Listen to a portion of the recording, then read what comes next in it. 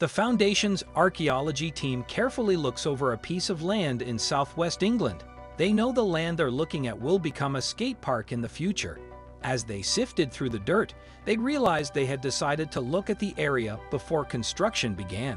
They found something that brings to life the ancient burial rituals of civilizations thousands of years ago. Europe entered the Bronze Age about 100 years after it began in 3300 BC in ancient Sumeria, which is now what we call the Middle East. The Bronze Age began when people gave up their stone tools and weapons in favor of bronze ones. Britain had many of the raw materials needed to make bronze, which is made of 9 tenths copper and 1 tenth tin.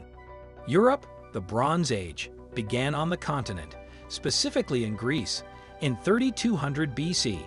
It took about 1200 years for the Bronze Age to reach the British Isles, and evidence shows that Europeans brought their new tools with them when they traveled to the UK. Ancient graves have shown that a new population moved to the UK at the right time to bring the Bronze Age to the islands. Experts have found differences in the shapes of the skulls of people who lived during the Bronze Age. Portugal, Gibraltar, Orive, and parts of southern France. They didn't move to Central Europe in large numbers, but their ideas did. They got their name from the shape of their drinking cups, which looked like beakers. The Central Europeans, who the original beakers had influenced, then moved around the continent and brought the Iberians' ideas with them. This happened around 2500 BC. Wessex culture began when the Beaker people came to Britain. It was based on their burial sites, which they filled with valuable items from the time. Archaeologists have found everything from gold ornaments to battle axes and intricately decorated daggers in their graves. Excavating these barrows revealed that the Bronze Age people could make sophisticated objects. Some pieces also show that they probably traded with other advanced cultures of the time. The king of Stonehenge, a team from Wessex Archaeology, found the burial site in the summer of 2002. They found about 100 objects buried in the ground, including gold hair, arrowheads, pots, and copper knives. But the most amazing thing they found was a skeleton. The Amesbury Archer is a complete skeleton of someone who died more than 4,000 years ago.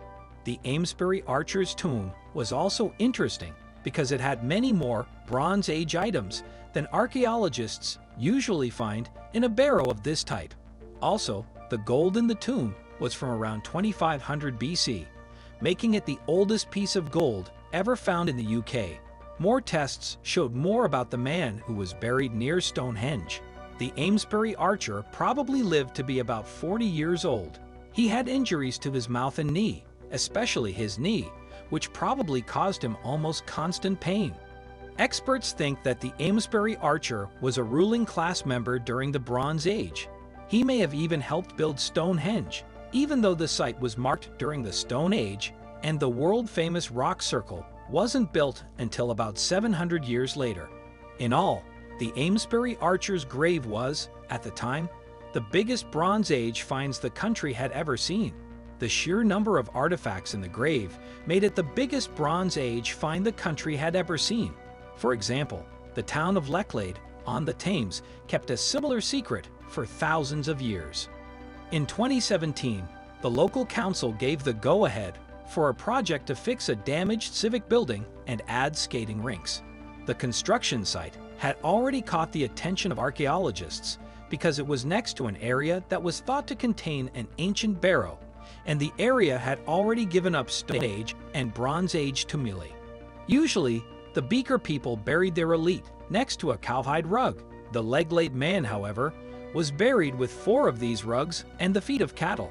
Andy Hood of the Foundation for Archaeology said that the team took this as a sign that he was probably more important than the other people buried with only one hide. All the other examples in the UK were of a single cow being buried, so the Lechlade burial is the only one of its kind. Hood told Live Science in 2020 about this and said that he thought all of the animals might have died. The chieftain's goodbye he said that it's possible that these animals were killed as part of a ceremony related to the burial that the Beakers had also done. This man was thought to have been a chieftain. They buried him with other valuable items from his time, like a stone bracelet and a metal dagger. Hood said that burying a person costs a lot of money. However, despite all these gifts and supplies, the chieftain's grave was missing one important thing. Beaker burials usually included their signature pop, but there wasn't one with the skeleton. They found more than just a chieftain surrounded by treasures. They found another man buried in a sitting position in the same burial circle. The fact that he was so close to the chieftain raised many questions.